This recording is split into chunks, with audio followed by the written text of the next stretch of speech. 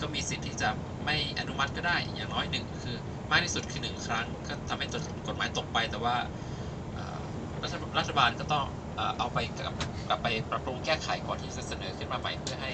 ผ่านออกมาเป็นกฎหมายใช้รับรองได้นะครับ ก็อาจจะคล้ายๆกับระบบของเราเหมือนกัน แต่ว่าของเรานี่มีพระมหากษัตริย์นะครับเป็นประมุขสูงสุดแต่ว่าในขณะเดียวกันนายกรัฐมนตรีก็เป็นหัวหน้าฝ่ายบริหารนะครับ สำหรับในเรื่องของการศึกษาที่นี่นะครับการศึกษาถ้าเป็นการศึกษาของรัฐบาล